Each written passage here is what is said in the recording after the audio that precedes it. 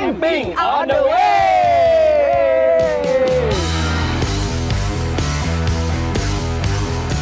จังหวัดอำนาจเจริญนะ เป็นจังหวัดเล็กๆ น่ารัก สถานที่ท่องเที่ยวก็ไม่ไกลกันอยู่มากใกล้ๆกัน ตรงเนี้ยครับคือสิ่งศักดิ์สิทธิ์คู่บ้านคู่เมืององค์พระมงคลมิ่งเมืองเนี่ยประดิษฐานอยู่บนพื้นที่ป่า ป่ากลางเมืองอ๋อ500 ไร่ โหบรรยากาศร้านเถียงนานี่คือ สุดจริง ๆ ที่พี่เลือกเนี่ยสวัสดีสวัสดีครับสวัสดีครับ รู้สึกหลงอำนาจเจริญแล้วว่าทำไมอำนาจมันดี มันดีอย่างนี้นี่เอง ผมชอบภูผาสิงห์นี่แหละครับ อาจจะไม่สวยที่สุดอาจจะเป็นแค่เนินเขา แต่แบบว่าเขามีเสน่ห์ของเขา มองวิวพื้นข้างล่างเรื่อยแบบ 360 องศา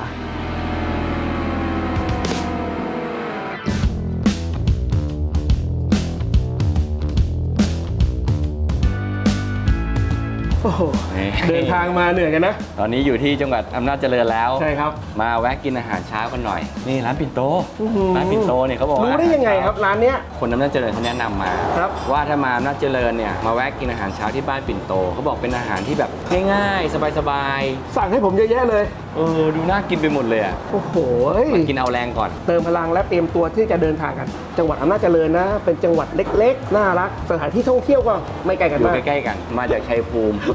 ขับรถมาที่นี่ก็ประมาณ 5 ชั่วโมง ครับ คุณไม่ต้องหู คุณหลับมาตลอดคนที่ขับเนี่ยคือพี่กิตแต่ต้องยอมรับนะครับว่าสมรรถนะรถเนี่ยเดินทางไกลได้ดีเลย ได้ดีเลยกิจก็เห็นผมอะขับมาหลายจังหวัดแล้ว ก็เลยอยาก ลองช่วยขับบ้าง เห็นรถมันเป็นแอดเวนเจอร์นะ ครับ มันนิ่มมาก มันนุ่มนวลจนแบบหลับสบายมากเลยครับ โอ้โหพูดแล้วเราก็นะเริ่มกินดีกว่ากินอาหารเช้ากันก่อนดีกว่ามใช่ครับ ไป เดี๋ยวมันจะเย็นซะก่อน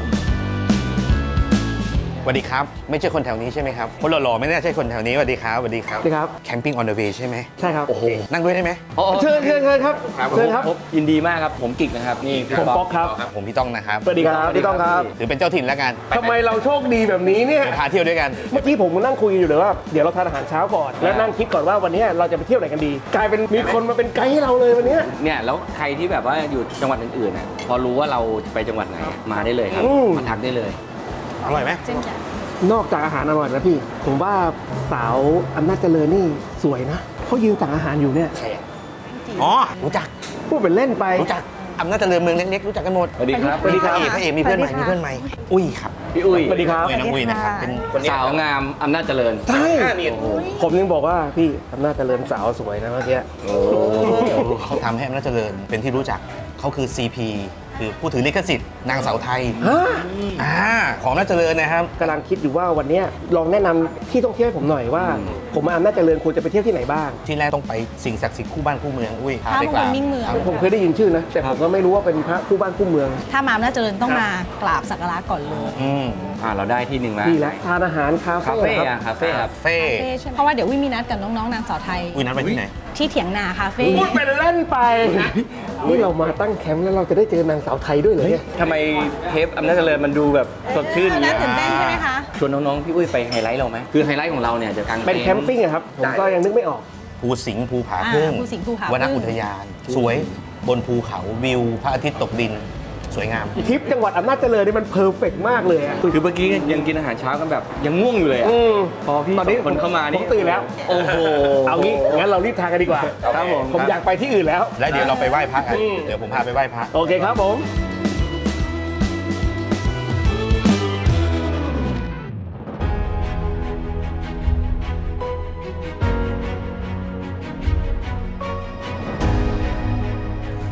พุทธอุทยานพระมงคลมิ่งเมืองนะครับพี่ทำไมวัดแล้วถึงมีคำว่าอุทยานนะครับ ตรงเนี้ยครับเราคือป่ากลางเมือง คือสิ่งศักดิ์สิทธิ์คู่บ้านคู่เมืององค์พระมงคลมิ่งเมืองเนี่ยประดิษฐานอยู่บนพื้นที่ป่าเกือบ 500 ไร่ ป่ากลางเมืองใช่ครับใช่ค่ะอ๋อ500ไร่บริเวณทั้งหมดนี่คือป่าครับใช่ครับเฮ้ยแล้วอยู่กลางเมืองด้วยอะนั่นแหละสิครับ เลยมีคำว่า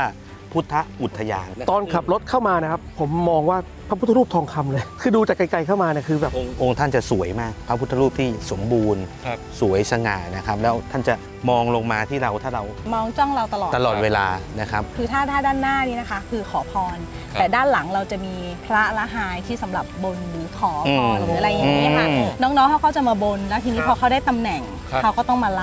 อืมมารับถวาย ใช่แล้วน้องๆก็มาแก้บนแล้วอื้อหือมูไหม สำเร็จแล้วแล้วถ้าเกิดเรามาบนได้แฟนเป็นนางสาวไทยนี่ อ่าก็ต้องได้ไหมครับ กลับมาที่นี่ได้นะต้องกลับมาอีกนะ ไปเลยถ้างั้นเดี๋ยว ก็ต้องกลับมารำแก้บนด้วยนะครับ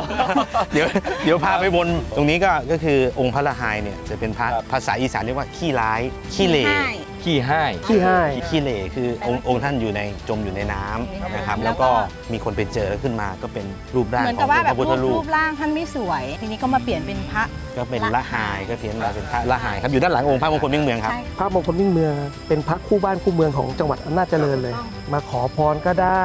บนบานสารกล่าวก็ได้อืมถ้างั้นเราไปไหว้เลยไหมครับครับ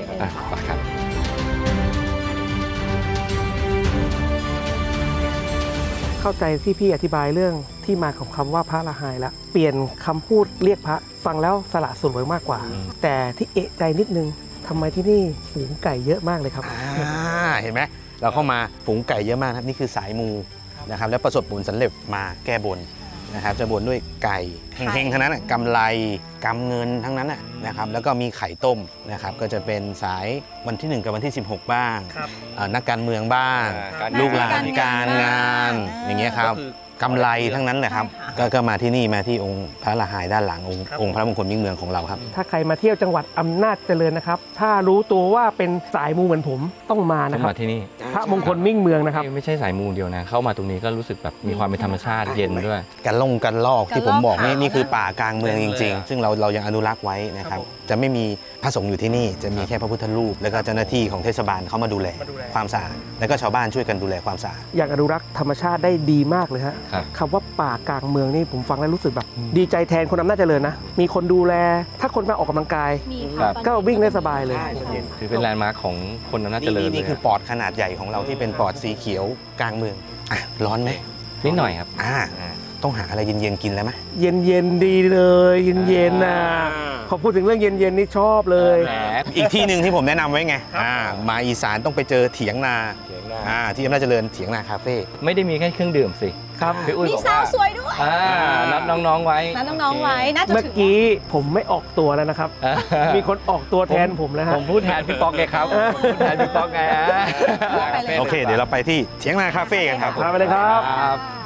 โอ้ บรรยากาศร้านเถียงนานี่คือสุดจริง ๆ ที่พี่เลือกเนี่ยชิคชิลแต่ก็ใช่ครับนะมีกิมมิคอะไรเล็ก ๆ ที่อำนาจเจริญบรรยากาศดีมากครับ บอกแล้วว่ารู้จักอำนาจเจริญแล้ว ทีนี้จะหลงรักอำนาจเจริญมากขึ้นอ่าอุ้ยนัดใครไว้นะ นัดน้องๆ นางสาวไทยอำนาจเจริญไว้เดี๋ยวจะบอกเพื่อนผมจะยิ้มน้อยยิ้มใหญ่ตลอดเลย ถอดแว่นเลยอะถอดแว่นเลยอะ เดี๋ยวมองไม่ชัดอ่าเราก็รอเชิญน้องๆนะ แต่จริงๆแล้วนะผมนัดเพิ่มอีกคนหนึ่งเหมือนกัน อาจจะมาพร้อมๆกันก็ได้ ไม่จริงๆอะบอกพี่กิตไว้ว่าให้ไปเจอกันที่กลางเต็นท์แต่พอบอกว่ามีน้องๆมาที่เถียงนาด้วยมีน้องนางเขาบอกว่าสาวไทยขอมาด้วยแล้วกันอืม ก็เลยนัดที่เดียวกันเลยอ้าวมาพอดีเลยโอ้พี่กิตสวัสดีครับสวัสดีครับ แหมรีบมาเลยนะ พี่กิกบอกว่าตอนแรกคุณน่ะจะไปรอที่แคมป์แต่พอรู้ว่ามีนางสาวไทยมาเนี่ย ไม่สมกับเป็นคุณเลยนะครับอ้าวอ่าเชิญครับเชิญครับ สวัสสดีวัสดีครับสวัสดีครับ โอ้โหเฮ้ย รู้สึกหลงอำนาจเจริญแล้วว่าทำไมอำนาจมันดี คุณว่าคุณว่าผมยิ้มคุณก็ยิ้มตลอดเลย ผมมีความสุขอ๋อ เออปกติแล้วอะ การมาแคมป์เนี่ยจะถึงบอกว่าเราก็ไม่ได้เจอสาวสวยแบบนี้หรอกอืมไม่คิดหรอกว่านะว่าจะมีสาวสวยแบบนี้ส่วนส่วนใหญ่จะเจอผู้ชายลุยๆ adventure ครับถ้าชอบ camping ถ้าวันนี้พอมีเวลาว่างก็เรียนเชิญนะครับอ่าไปตั้ง camping กันโอ้ยอะไรมันจะลงล็อกขนาดนี้กิกกับป๊อกทำบุญมาด้วยอะไร อีพีนี้นี่ครับทุกคนต้องอิจฉาแน่นอนครับโอ้ สวัสดีครับสวัสดีครับอ่ายินดีต้อนรับร้านเถียงนาอำนาจเจริญนะครับครับผมมากเลยครับเถียงนาเนี่ยก็เป็นที่พักของคนชาวนาเมื่อสมัยก่อนเนาะครับเป็นที่นี้พอเราแอปพลายมาจากคนยุคใหม่ คนทำงานแล้วก็มารีแลกซ์หรือมากินข้าวหรือมาอะไรที่นี่ครับอันนี้ก็คือประวัติร้านแล้วเรามีsignature น้ำเราเนี่ยชื่อน้ำหมักน่าจะมีที่เดียวเพราะว่าเราคิดเราคิดเอง เป็นน้ำหมักเชิงคุณภาพ เชิงสุขภาพมันก็จะมีโซดานะครับแอมแล้วก็มีน้ำผึ้งแล้วก็มีใบสะระแหน่มีอืมมีสับปะรดแล้วก็มี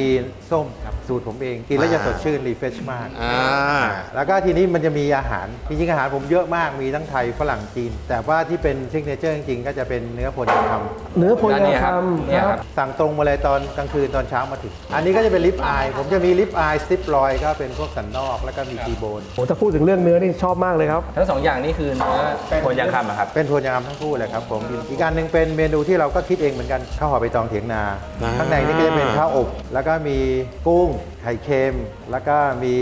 กุนเชียงอ่าแล้วก็มีเห็ดหอมอะไรพวกเนี้ยนะครับอยู่ในนั้นร่วมสมัยฮะร่วมสร่วมัมยสมัยร่วมสมัยผมขออนุญาตชิมน้ำ signature ก่อนนะฮะชิมนิดนึงนะครับสดชื่นชื่นใจเป็นลักษณะเป็น healthy ท้องร้องเลยอะ อะนี่ใช่ไหมถ่ายรูปก็สวยครับ โอ้โหเดี๋ยวอาหารจะเย็นเราก็มาเริ่มทานกันดีกว่า อะทานข้าวดีกว่าครับโอ้อะครับ ลงมือครับ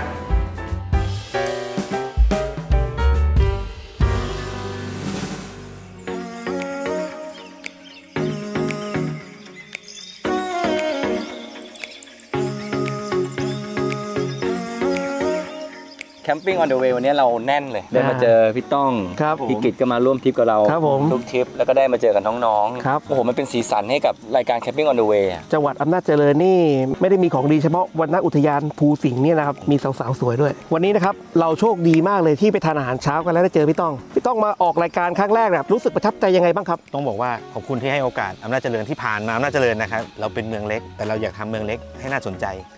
วันนี้เป็นไงครับที่ผมพาไปบ้างวันนี้ คือแต่ละที่ผมทึ่งนะ อย่างแรกเลยที่ผมรู้สึกประทับใจเนี่ยประทับใจที่พุทธอุทยานอ่าฮะ พระมงคลมิ่งเมือง ผมชอบตรงที่คำพูดที่พี่ปอกพูดว่าป่าใจกลางเมืองครับ มันเหมือนเป็นปอดให้กับชาวอำนาจเจริญ ใช่ครับ คือได้มากับสิ่งศักดิ์สิทธิ์ด้วย แล้วก็ได้มาเหมือนทำกิจกรรมแอคทิวิตี้ในบริเวณนั้น ได้มาวิ่งได้มาปั่นจักรยานได้มาทำกิจกรรมครับ ต่างๆ โอ้โห ชอบชอบตรงนี้บ้างครับผม ครับผม ส่วนผมนะฮะผมชอบภูผาสิงห์นี่แหละครับ สถานที่อาจจะจะไม่สวยที่สุดแต่ก็ถือว่า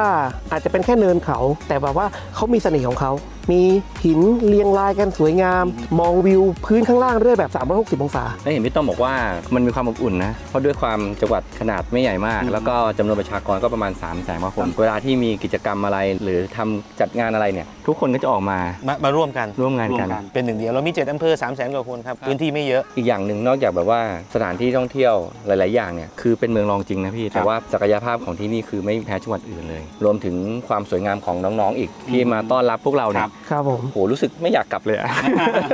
ภูมิใจมากวันนี้ภูมิใจมาก เรามาถามน้องๆบ้างดีกว่า เออ การมาแคมปิ้งครั้งแรกอะรู้สึกเป็นยังไงบ้างครับ ก็รู้สึกดีใจค่ะ แล้วก็ขอบคุณพี่ๆที่พามาแคมปิ้งในวันนี้นะคะ รู้สึกว่าสดชื่นมากเลยค่ะ ไม่เคยได้มาแบบรับบรรยากาศแบบนี้ค่ะ ค่ะสำหรับหนูนะคะก็มาครั้งแรกเหมือนกันค่ะ ไม่เคยมาแคมปิ้งมาก่อนเลยจะบอกว่าตื่นเต้นมากๆ แล้วก็ได้มาเจอพี่ๆด้วย วันนี้ก็ขอขอบคุณนะคะ ครับยินดีครับ ท้าทายมากค่ะกับแดดวันนี้นะคะพี่อาอยากเชิญชวนพ่อแม่พี่น้องนะคะ สถานที่ท่องเที่ยว มีหลายหมองเลยที่น่าสนใจอย่างเช่นหมองนี้นะคะ ผู้ผาสิงห์มาลองแคมปิ้งเบิร์นเหมือน